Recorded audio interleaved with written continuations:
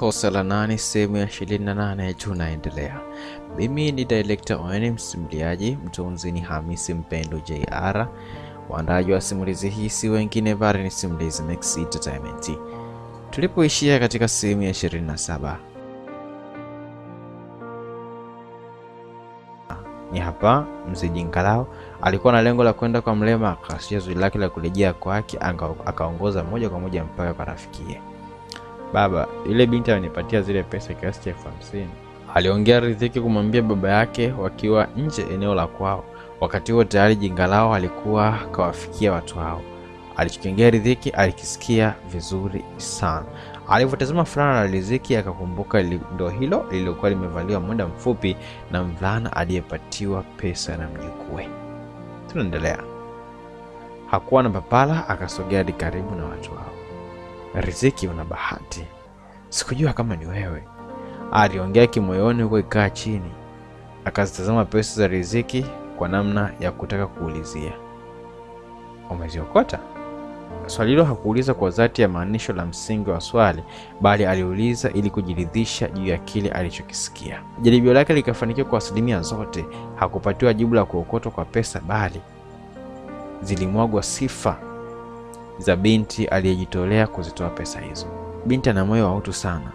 Laiti nisingepangiwa kumwoa, basi ningelijivunia kupata mke bora, alizungumza Riziki akiendelea kumpamba. Sikujua ni dhahiri alianza kuingiwa na hisia za mapenzi, lakini hakuwa na namna, kwani tayari alishapangiwa mke wa kumwoa.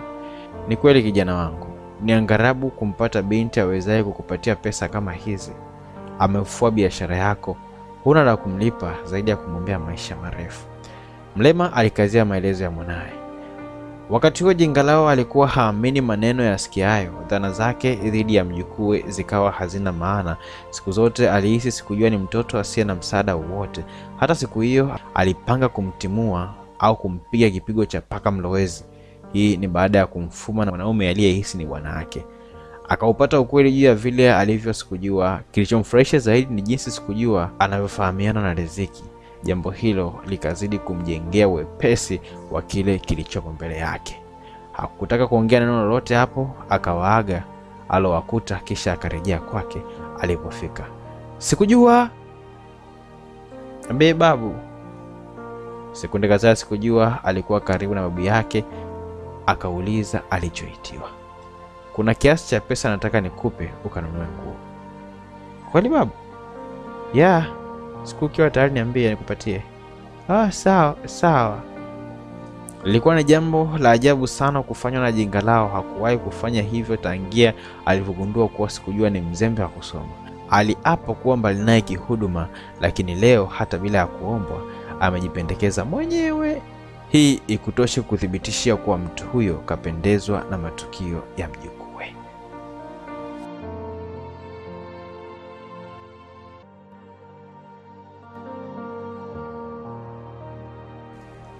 Bahati japo alipatiwa maelezo kuhusu mama yake, lakini hayakumwingia akilini. Kila akiyatazama mazingira ya baba yake ni kama yupo tofauti. Sauti aliyoizoea sio ile aliyoisikia, sio ile aisikiayo. Kitu kizuri kwake ni kwamba alikuwa mvumilivu mno. Akilihisi jambo, basi ni lazima alifanyie uchunguzi kwa kulivumilia masiku na masiku. Hata hilo swala la kumtilia mashaka baba yake aliona ni bora kulifanyia subira, akiamini mvumilivu hula mbivu. Siku zikazidi kusonga mbele. Siku moja, bwana mkuu wa Majuto alipanga kutoka na mwanaye kwa nia ya kwenda kufanya manunuzi ya nguo. Alimwomba Sudi waongozane katika msafara huo. Sudi hakugoma.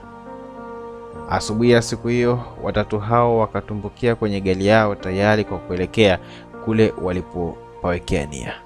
Waliongoza moja kwa moja mpaka Kariakoo. Bahati alipatiwa uhuru wa kuchagua kitu akitakacho. Alipewa tahadhari kuwa asiogope bei, ili mradi kiwe ni ridhisho la moyo wake, naye hakufanya ajizi.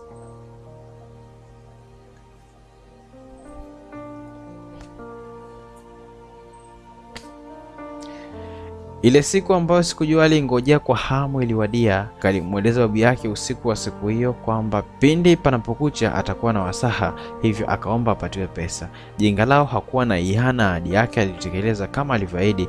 Kiasi cha pesa kisichopungua laki tatu na ushenzi kikamtoka. Sikujua akashukuru sana, akazipokea pesa hizo, kisha akazihifadhi pochini. Jogoo la kwanza kuwika likamkurupusha Sikujua kunako usingizi wake. Alivyotazama saa akaona ni saa tisa usiku, akautoa msonyo, kisha akarudia kulala. Kutokana na kimuhemuhe chake, wala hakulala kwa raha. Akili yake iliomba kukuche ili akazisambue nguo kwenye maduka ya Wahindi. Mnamo masaa ya saa kumi na moja kasoro ndipo alipokulupua kutoka kitandani, akaanza kuufanya usafi kama hayuko timamu mpaka inatimu saa moja kila kitu kilikuwa tayari. Bado hakusahau kuhusu safari yake. Akamwendea mama yake mzazi ili amsindikize, lakini mama aligoma. Akamwendea mama yake mdogo, huyo naye hakuwa tayari, kwani alikuwa na misafara yake yenye umuhimu. Kwa kuwa endapo alipofahamu akaona isiwe kesi, alijiandaa mwenyewe, kisha akasepa zake kwenda kaliako Kama alivyotamani ndivyo ilivyokuwa akifanya mara baada ya kufikia maduka ya nguo. Sasambu sasambu haikumwisha mtu huyo. Utamwambia nini tena wakati pesa inaongea? Kaka samani, ilo gauni hapo kiasi gani? elfu sitini tu dadangu. Sawa, nipatie. Suala la kubageni bei hakuliwekea maanani. Alichozingatia yeye ni kuuliza bei kisha kufanya malipo. Alizinunua nguo kadhaa na kujikuta ametosheka nazo. Baada ya hapo akaendea maduka ya uzuri ili walau apendezeshe mkono wake kwa uvaaji wa bangili. Upande wa pili anaonekana Bahati akiwa na baba yake bila kumsahau Sudi.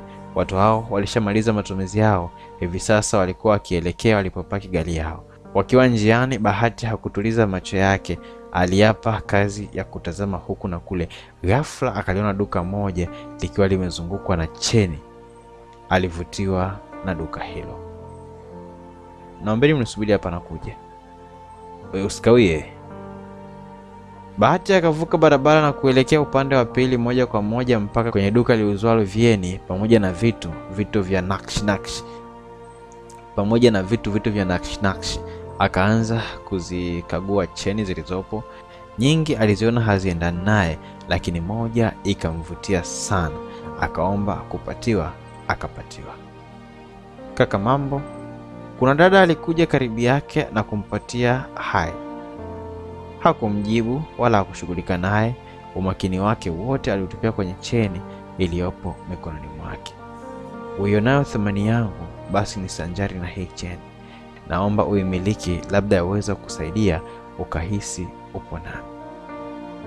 Cheni aionayo alihisi huenda itakuwa sawa na ile aliyowahi kumpatia mpenzi wake miaka kadhaa iliyopita. Akajikuta akikumbuka siku aliyotoa cheni na kumpatia ampendaye iwe kama kumko lake. Kumbukumbu hilo likawa linamtoa machozi, japo cheni yake ya awali haikuwahi kuiona, lakini alijikuta akiifananisha na cheni aliyonayo wakati huo. Akizidi kulia, yule muuzaji alishangaa sana. Hakuwahi kumpata mteja mwenye machozi ya karibu kama mteja wake huyu.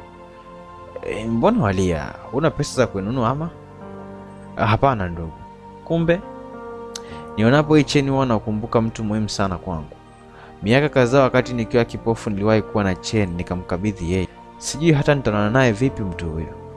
Maelezo yake alimgusa dada yule aliyekuwa pembeni, akazidi kusogea karibu, huku akijawa na hofu mwilini mwake. Unalikumbuka jina lake?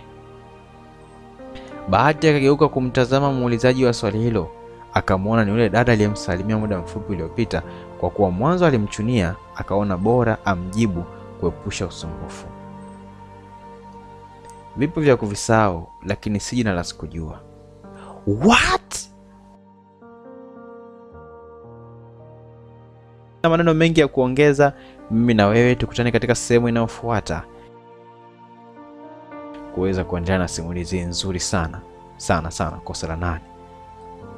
Kama kuna ndugu yako hajapata kuisikiliza, mwambie basi kuhusu tu simulizi hii. Usimsimulie kwa sababu utampa utamuu. We mwambie tu kwamba simulizi hii inapatikana ndani ya YouTube channel ya Simulizi Max.